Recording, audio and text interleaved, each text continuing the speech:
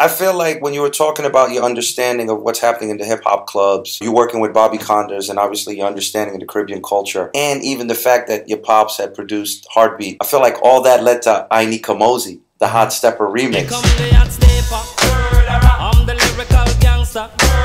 And I remember when I first had the idea, I was at Hot 97, you know, every Friday. So I did it on my four track at the crib, and then I played it for Flex and Angie Martinez. And she was like, yo, I like that. And he's like, yo, that's just hot. That's crazy that just something that you like cooked up in your head, essentially a genre that didn't exist, a hybrid of hip hop classics yeah. and reggae, went to number one. Mm-hmm. And the fact that it knocked in the club, you know, I think DJs picked it up and did, it was made for us. For you after made that for point. New Yorkers. When it's made for us New Yorkers, it works anywhere. Now, you know, I'm from Queens. We have blend tapes. So I already understood I could speed this record up plus three and slow that one down negative two. Wow. And somehow these two records I heard in my head are in key. You listen to Ghetto Red Hot remix, you would think Supercat did the vocals to that track.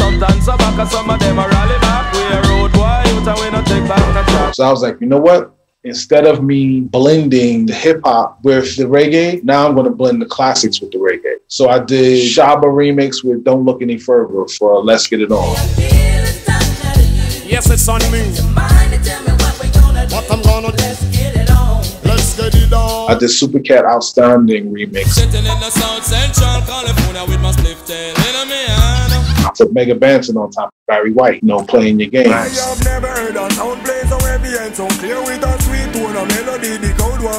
was like, this is what we're gonna do. We're just gonna take all these old classic joints and put the reggae underneath it. And that's where Here Comes the Hot Stepper comes from. Because I'd already produced Here Comes the Hot Stepper as a song. And it sounded more like Cypress Hill, you know what I'm saying? It was more like na na na na na na na na na na na na na.